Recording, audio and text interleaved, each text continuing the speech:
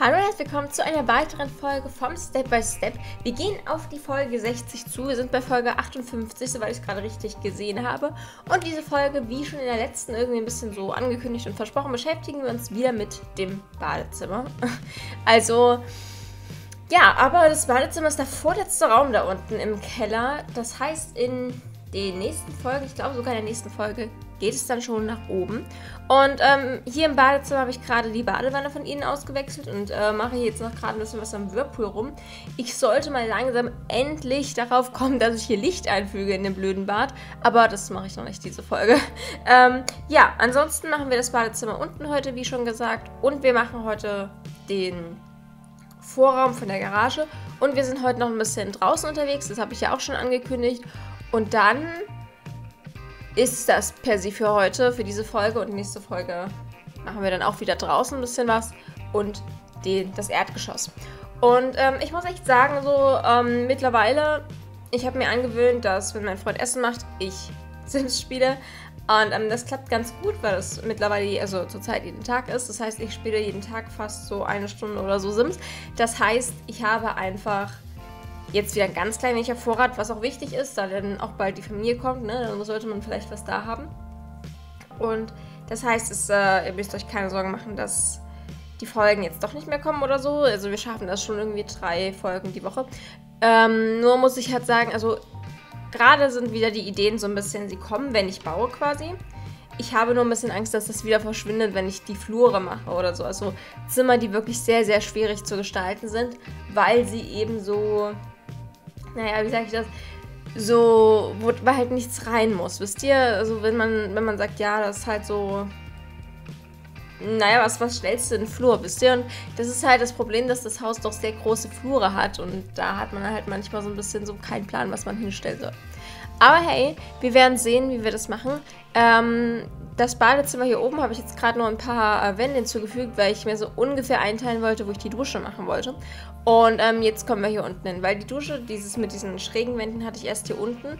Nur fand ich das irgendwie im Sportzimmer ein ganz klein wenig unangebracht, eben weil ich finde, dass in einem Sportzimmer auch ab und zu mal mehrere Leute duschen. Ich habe jetzt hier zwei Duschen hingemacht, das ist eigentlich relativ wenig, muss ich sagen. Aber es reicht gerade so, finde ich. Also für mich ist es so, dass äh, wenn man in einem Sportzimmer ist, dann sollten auch mehrere Leute auch duschen können. Weil es ja auch sein kann, dass eben mehrere Leute gleichzeitig Sport gemacht haben. Und deswegen wollte ich das ein bisschen auch so eingrenzen, dass es auch in Sims funktional ist, dass mehrere Leute duschen können. Das habe ich ja auch schon in der letzten Folge irgendwie erwähnt. Dass Sims es ja nicht leiden können, wenn ähm, naja, andere Leute dort sind und beim Duschen spannend quasi, egal ob es bei mir Mitglieder sind oder nicht. Zumindest war das in Sims 3 mal so. Ich weiß nicht, ob es in Sims 4 auch so ist. Jedenfalls ähm, habe ich mir gedacht, ja, ich mache dann hier halt so abgeschlossene Räume und da sollte es kein Problem mehr sein. Und habe die Duschen jetzt auch mal ein bisschen hochwertiger gemacht. Weil das Problem ist halt einfach, dass diese Duschen, die ich super, super gerne benutze, also die Duschen, die freistehen sind, einfach so schlecht sind. Wisst ihr, was ich meine von den Werten? Und das ist ein bisschen nervig. Wie gesagt, ich äh, wollte mich da wirklich wegen einem Mod umgucken.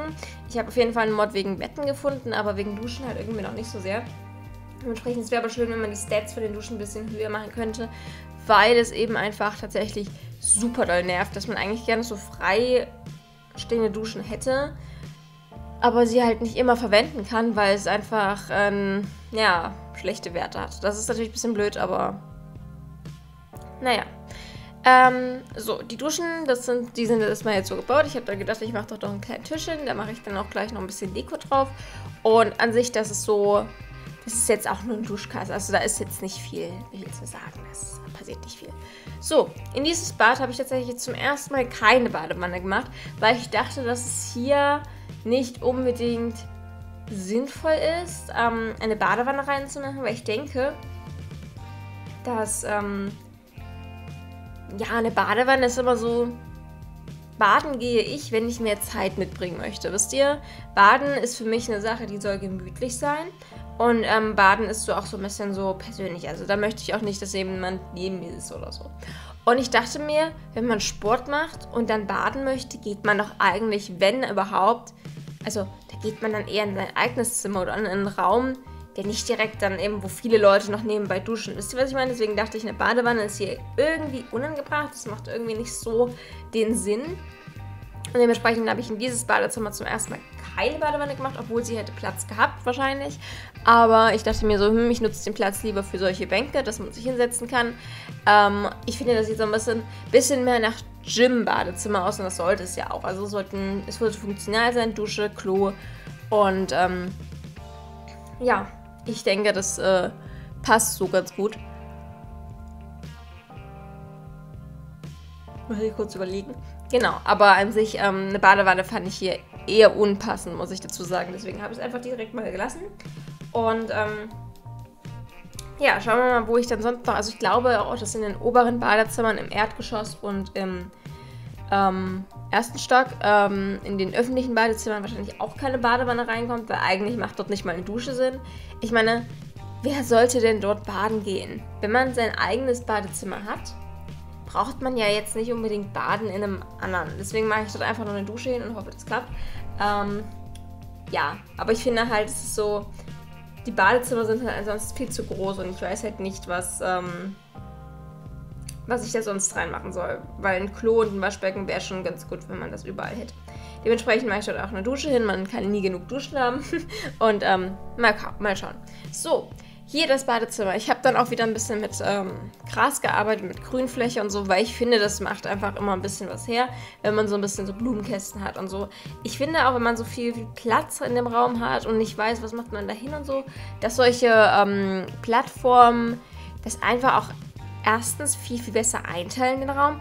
Und diese, ähm, wenn man dann so, eine Plattform Blumenbeet macht, wie ich das hier gerade gemacht habe, das ist so ein bisschen platzfüllend auch. Und ich finde, das ist eine ganz gute Sache, wenn man damit den Platz füllen kann und gleichzeitig sieht es dann halt irgendwie noch frischer und lebendiger aus. Das ist immer so eine gute Kombination. Dementsprechend, ja, mache ich ganz gerne diese Blumenbeete überall hin.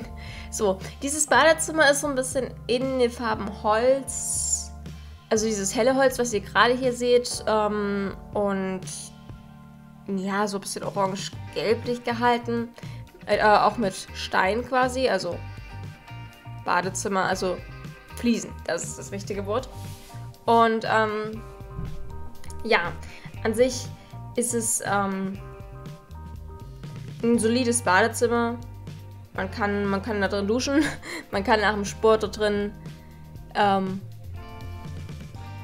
ja, weiß ich nicht, äh, sich wieder sauber machen, wenn man wieder stinkt oder so. Und ansonsten gibt es aber zu dem Badezimmer jetzt nicht so die Welt zu sagen.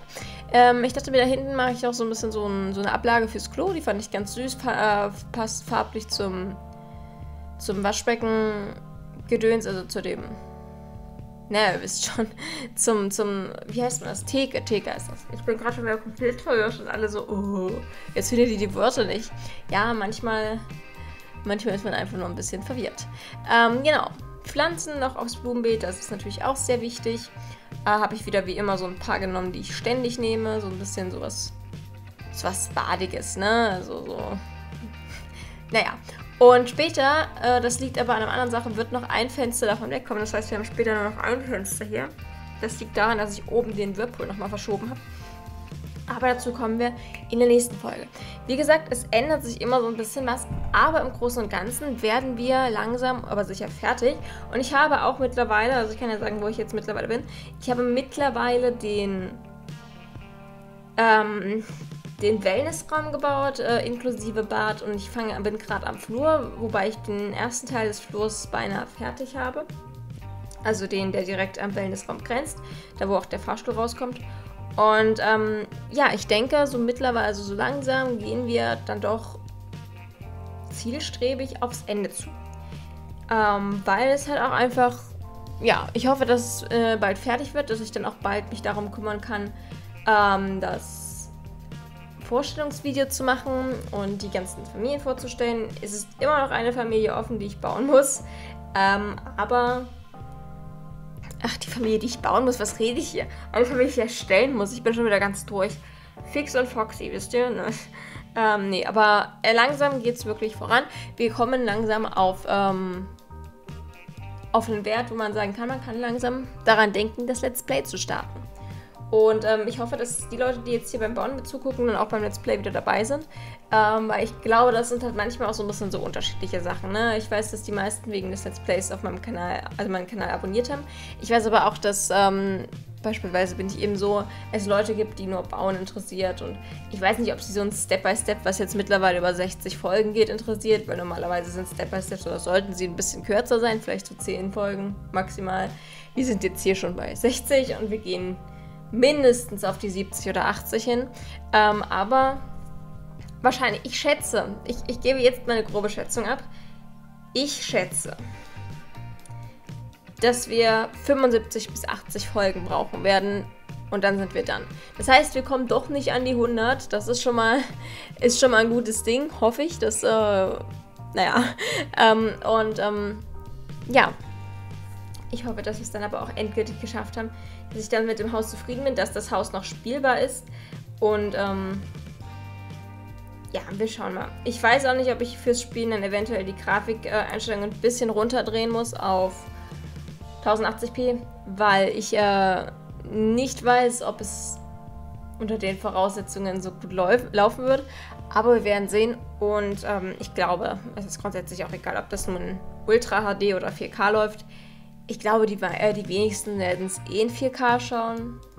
Zumindest bin ich so jemand, der, also wenn ich Sachen am Handy gucke, mich interessiert es eigentlich nicht, ob es 4K gibt oder nicht. Das ist für mich einfach komplett uninteressant. Aber vielleicht gibt es ja so Leute, die da wirklich dahinter sind.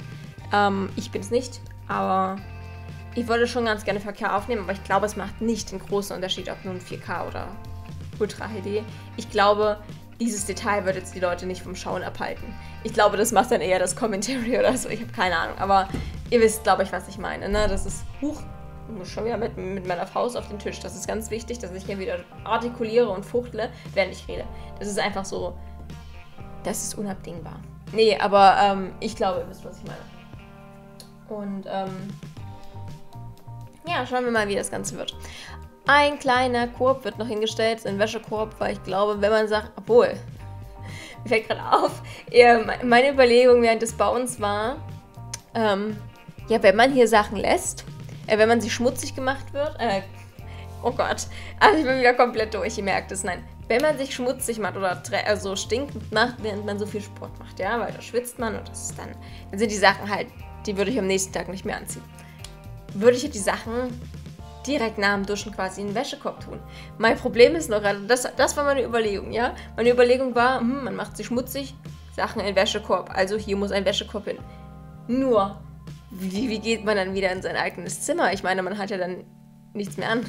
Oder hat man sich die Sachen mitgebracht? Ich weiß es nicht. Jedenfalls steht da jetzt ein Wäschekorb. Ob der so viel Sinn macht? Als ich gebaut habe, dachte ich, der macht super viel Sinn. Wenn ich jetzt darüber nachdenke, denke ich irgendwie, er macht keinen Sinn mehr. Aber ist ja auch egal. Wie sagt der Wendler so schön? Egal. Deswegen ähm, steht da jetzt ein Wäschekorb. So, hier machen wir noch ein bisschen Dekoration. Das äh, auf diese, diese Regale, die finde ich ganz süß. Das äh, mache ich irgendwie so, immer so ein bisschen so. Aber immer, ich habe immer das Gefühl, ich mache immer, äh, immer und wieder dieselbe Baddeko. Es ist immer das Gleiche. Bademäntel, ein paar Pflanzen, Handtücher und Seife. Ja, aber gut, was willst du sonst in ein Badezimmer machen? Ne? Das ist halt die Frage. Aber irgendwie ist es bei mir eh mehr dasselbe. Wir brauchen einfach, und das ist ein bisschen schade, dass ich ohne CC, also da finde ich es wirklich schade, dass ich ohne CC spiele. Weil ich würde wirklich gerne so Maxis Match ähm, äh, Bad- und Küchendeko runterladen. Das wäre eigentlich ganz cool, weil ich finde, davon hat man einfach zu wenig. Man richtet so viele Bäder und Küchen ein. Es ist einfach so eine Sache, die brauchst du in jedem Haus. In jedem Haus ist es wichtig und ähm, ja, einfach unab unabdenkbar, dass man ein Bad und, ein, und eine Küche einrichtet meistens äh, mehrere Bäder sogar und dafür hast du einfach meiner Meinung nach zu wenig Deko. Aber ich bin ja auch so jemand, der anti-CC ist, das habe ich auch schon mal gesagt, dementsprechend wird das wohl nichts, aber langsam ist es dann halt einfach so, dass man so sagt, hm, es wird langsam langweilig mit der ganzen Deko. Dementsprechend, naja gut, müssen wir jetzt mit leben. Und ähm, jetzt machen wir hier wieder die die Wände. Ich dachte, wir benutzen mal so eine Steinwand, diese, die ihr im Hintergrund seht. Und ich finde, das sieht eigentlich ganz passend aus. Dieses Grau mit dem hellen Holz, das hat irgendwie so ein bisschen Stil. Ähm, ich werde das Holz, den Holzboden da unten noch ein bisschen heller machen, gleich. Äh, so eher in der Farbe zum, zur Wand. Und, also genau so. Und dann sind wir eigentlich auch durch mit dem Badezimmer. Ich glaube, das war's. Ich glaube, hier kommt jetzt nichts mehr hin Zumindest erinnere ich mich jetzt nicht mehr so ganz genau. Ne, wir sind anscheinend fertig. Und dann gehen wir gleich äh, zur Garage. Und die Garage habe ich mir so ein bisschen. Also den Vorraum. Ich ähm, wusste nicht so ganz genau, was möchte ich in den Vorraum machen. Es war immer so eine geteilte Meinung zwischen, ähm, wir machen hier. Oh, jetzt ändere ich hier gerade noch was, aber wir werden gleich sehen. Ähm, in der Vorraum, da war immer so eine geteilte Meinung zwischen, wir machen hier eine Sitzgelegenheit hin, weil immerhin ist es der Raum, in den du mit dem Fahrstuhl fährst, wenn du von oben kommst. Und ähm, meine zweite Meinung war einfach so ein bisschen so, wir stellen hier ein paar Fahrräder aus auf jeden Fall. Also so Dinge, die man benutzt, also die man wirklich braucht, mit denen man sich fortbewegt. Also Fahrräder und äh, wie heißen die? Snowboards und Ski. Ski. Ne, wie nennt man die denn? Skier? Ski. Also das, womit man Ski fährt. Wie nennt man die? Ja, es ist egal. Ich glaube, ihr wisst genau, was ich meine. Das wollte ich eigentlich hinmachen. Nur hatte ich so ein bisschen das Problem, äh, dafür war es zu klein wieder für Sitzgelegenheit und Skier. Zumindest coole Sitzgelegenheit mit Sofa und so.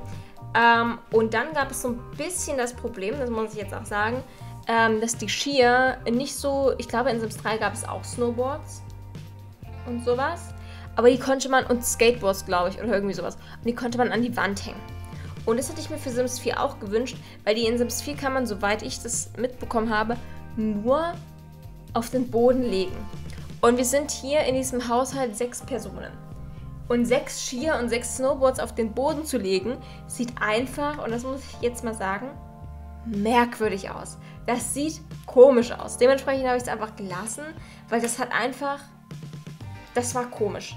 Ich habe ich glaube, sieben oder so Fahrräder hinbekommen auch tatsächlich. Also Fahrräder gibt es genug. Wahrscheinlich, ich weiß nicht genau, wie viele es sind, sechs oder sieben, irgendwie so. Aber Skier und Snowboards gingen leider nicht so gut. Äh, ich habe dann so ein bisschen Deko-Objekt hingestellt. Ich hatte auch überlegt, ob ich die vielleicht irgendwie. Also ich kann sie auch leider nicht mit dem Höhenverstell-Dingens hoch machen, weil irgendwie funktioniert es nicht so ganz. Ähm, da ist das Spiel wahrscheinlich ein bisschen dagegen. Und es ist ganz merkwürdig. Also es ist leider so, dass jetzt hier nicht genug Skier und Snowboards vorhanden sind. Vielleicht kann man die, wenn man spielt, ins Inventar packen. Das weiß ich nicht genau, dass man das trotzdem besitzt mit der Familie. Aber es war ein bisschen schwierig. So, und jetzt seht ihr gleich mein Dilemma quasi. Ähm, ich habe aber diese, diese Deko-Objekte, diesen Skierständer habe ich gelassen. Skier und Snowboard. Weil ich dachte, dann tut man wenigstens so, als besitzte man das. Ähm, wisst ihr, was ich meine? So, und da habe ich natürlich mir wieder überlegt, wie dekorierst du das? Wie dekorierst du das? Also die Dinger, die ich jetzt hier im Hintergrund habe, die sahen mir zu heftig aus. Deswegen habe ich wieder meine altbewährten Stöckchen benutzt, also die Dinger. Und ähm, habe hier auch wieder ein bisschen auf Asymmetrie gesetzt. Sehr viel in dem Haus ist ja sehr symmetrisch geworden. Also vor allem so die Schlafzimmer, die Betten. Shirleys Bett, Edens Bett, das Bett vom Au-pair, das äh, Schlafzimmer, also das Bett von Nathan und Joan die sind alle sehr, sehr, sehr symmetrisch. Und das nervt mich, um ehrlich zu sein, ein bisschen, weil ähm, ich, mag, ich mag Asymmetrie in einem gewissen Punkt sehr, sehr gerne. Deswegen habe ich das beim Butler auch gemacht. Ähm, problematisch ist, dass ich nicht so unbedingt viele Ideen hatte, wie ich Asymmetrie umsetzen kann, dass es auch wirklich hochwertig aussieht. Deswegen war es immer symmetrisch, das konnte ich ganz gut, glaube ich. Aber Asymmetrie äh, hochwertig umzusetzen, fand ich immer ein bisschen schwierig. Und dementsprechend ähm, ja, habe ich mich dann dafür entschieden, alle Schlafzimmer irgendwie symmetrisch zu machen. Aber dafür muss ich im restlichen Haus jetzt ein bisschen was unsymmetrisch machen. So, und da seht ihr mein Dilemma, ne? Ich kann leider nicht irgendwie so viele Shears dahinstellen, weil das sieht komisch aus, wenn ich einfach fünf oder sechs Snowboards nebeneinander und sechs Skier auf den Boden lege und das. Pff, keine Ahnung, das wäre irgendwie strange. So, ähm, ich habe mich letztendlich ähm, dazu entschieden, hier aber Sachen auszustellen, die man, naja, die man halt so sitzt, ne? Und äh, Fahrzeuge quasi. Das Ganze ist ja sowieso nur eine Show, dieses ganze Haus und so, und ne? Wir wollen zeigen, wie viel Geld wir haben und und so weiter, ne? Und dementsprechend habe ich mich dazu entschieden, ja auch Boote hinzumachen. Ich weiß nicht, ob man die benutzen kann. Ich weiß es wirklich nicht, weil das sind ja eigentlich Boote für ähm, das Inselpack, wenn man quasi auf so einem Strandgrundstück wohnt dass man da eben mit dem Boot fahren kann. Ich weiß nicht, ob wenn man jetzt zum Beispiel zum Strand reist, man die Boote mitnehmen kann. Da habe ich wirklich keinen Plan, dafür bin ich einfach ein zu unerfahrener Spieler. Aber ich dachte mir, okay, man besitzt diese Boote wenigstens, um zu zeigen, das haben wir. Und deswegen habe ich auch die Garage noch ein bisschen vergrößert, also diesen Vorraum, damit man die Boote da hinten noch ausstellen kann und ich noch genug Platz für Fahrräder habe. Und ich habe insgesamt äh, vier Boote hier hingestellt, weil ich finde, ja, man muss auch ein bisschen, Zeug haben, ne? man muss Sachen besitzen. Und ähm, habe mich dann hier einfach noch entschieden, dass ich vier solche Jetskis quasi hinmache. Das ist so ein bisschen ich meine, Nathan ist ja so ein richtiger Autofanatiker, was vielleicht daran liegt, dass er eine Autofirma hat. Aber Nathan ist so jemand, der liebt Autos. Und ich dachte mir so, naja, gut, vielleicht mag er auch Boote. Boote, Boote, Boote. Und ähm, ja, hab dann einfach ein paar Boote noch hingestellt. Vielleicht sind Boote ja auch eher so Edens Ding, wisst ihr? dass sie sagt, ja, sie damit Boote oder so. Das sind als alle, die gehören alle ihr oder so. Ich weiß es nicht. Ist mir auch egal. Ich dachte mir nur, reiche Leute haben Boote und deswegen habe ich jetzt Boote hingemacht. Ähm, ja.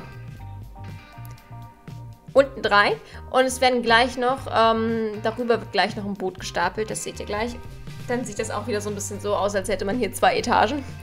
Und ja, wie gesagt, kein Plan ab, wie benutzbar sind. Keine Ahnung, wie die hier unten hingekommen sind, weil in den Fahrstuhl passen sie nicht. Keine Ahnung, wie sie, wenn wir das denn irgendwie überhaupt schaffen, mit nach Solani kommen, weil, wie gesagt, in den Fahrstuhl, ne, das wird schwierig und das heißt, man müsste sie erst durch die Tür hieven auf den. Äh, oder man könnte sie vielleicht mit einem Auto wegtransportieren. Ich weiß es nicht, aber egal. So, da habe ich den Tisch schwarz gemacht. Das war ja, äh, hat jemand gesagt, dass der Tisch nicht hochwertig aussieht. Dann dachte ich mir, mache ich das mal so schnell, so schnell zwischendurch. Keine Ahnung, wieso ich gerade in dem Moment drauf gekommen bin, aber wir sind zurück bei unseren Liga, äh, Liga-Booten. Bei unseren lieben Booten wollte ich eigentlich sagen, aber hab's nicht, weil ich schon wieder komplett verwirrt bin. Und, ähm, ja. Boote, Boote, Boote dachte mir, das passt ganz gut. Ich habe ähm, gedacht, wir machen vor allem neutrale Farben, also schwarz und weiß, aber wollte auch eine knallige Farbe, weil ich das so cool finde. Ne? Ich meine, wer hat schon so ein mintgrünes, knalliges Boot? Und oben wird, glaube ich, ich glaube, ich werde die Farben noch ein bisschen tauschen, aber wir werden auf jeden Fall noch so ein knalliges rotes Boot haben. Und ähm, ja, da oben mache ich jetzt so ein cooles, so ein cooles Brett hin, dass wir dann auch eins ausstellen können. Und das ist quasi so die Grundidee dieses Zimmers. Das ist so ein bisschen so ein Ausstellungszimmer, so ein bisschen aber auch funktional, weil wir halt eben Fahrzeuge hier drin stehen haben, die nicht Autos sind.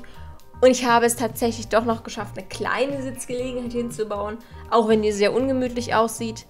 Aber immerhin ist sie da.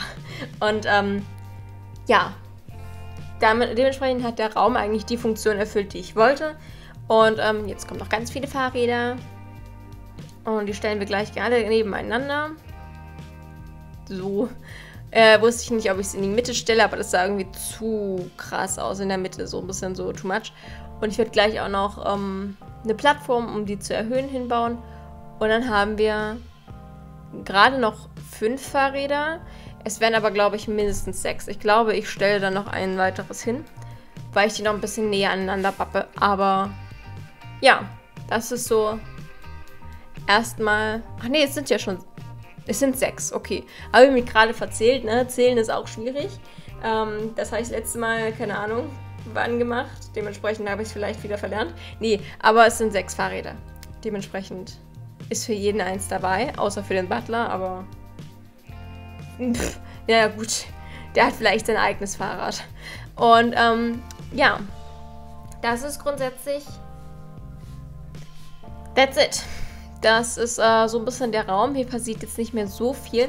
Und wenn wir mit dem fertig sind, in so ein paar Minuten, gehen wir dann nach oben. Da habe ich nämlich gesagt, habe ich noch ein bisschen was umgebaut. Und ich war nicht sehr gehypt von dem Update. Das muss ich zu, äh, zugeben. Ich war nicht so alle so, oh mein Gott, es gibt jetzt Seen und Teiche und bla. Und ähm, ich war so, kann man in den Seen auch schwimmen? Die Antwort ist nein, kann man nicht. Äh, dementsprechend war ich immer so ein bisschen so, oh, naja, gut, braucht man ja jetzt nicht. Aber ich muss zugeben, was extrem cool ist, es gibt jetzt so Seetiere. Also es gibt jetzt Fische. Wie, wie rede ich denn heute? Also wirklich, es gibt jetzt Fische, die im See schwimmen. Und es gibt Enten und äh, Schwäne. Und ich dachte mir, und Glühwürmchen und Libellen, genau. Und ich dachte mir so, ja. Ich habe mir einfach nur ja gedacht, es gibt auch Alligatoren, aber das fand ich jetzt ein bisschen Overkill, to be honest. Aber ich dachte mir einfach nur so, toll.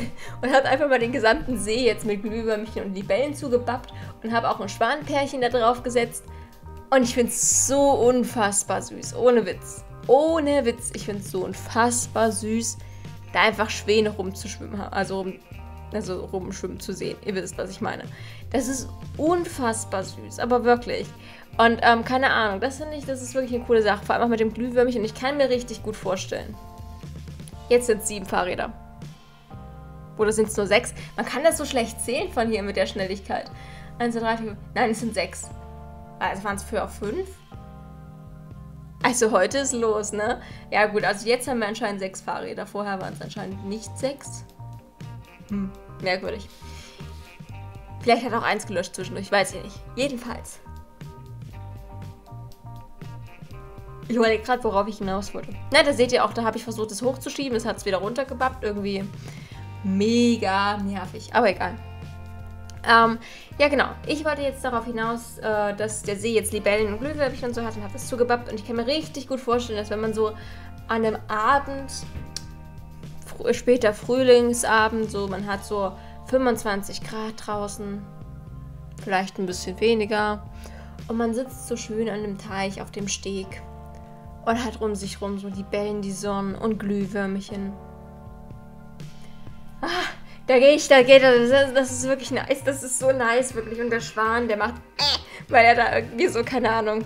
I'm sorry. Ähm, aber das ist so, ich weiß nicht. Ich finde das so, so cool. Also jetzt bis auf den Schwan vielleicht, der irgendwelche komischen Geräusche von sich gibt, aber er sieht wenigstens schön aus. So. Ähm, äh, egal. Ja, aber ich kann mir echt vorstellen, dass das so richtig, richtig Shirley's Ding wird. Ich glaube, neben ihrem Zimmer ist das der Ort, wo sie sich so richtig oft aufhalten wird. Am See.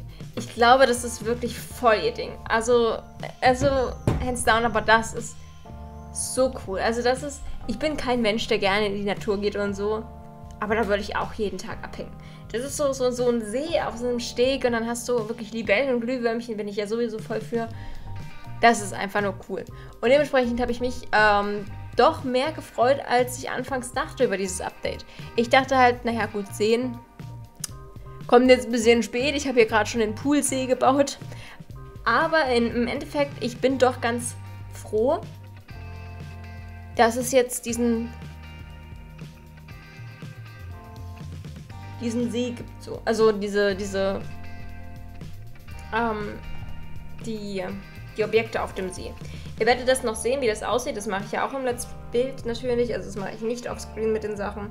Aber ich freue mich wirklich, dass äh, Shirley dann ab und zu mal abhängen kann. So die schönen, heißen Frühlings- und Sommernächte am See. Mit ihrem Freund.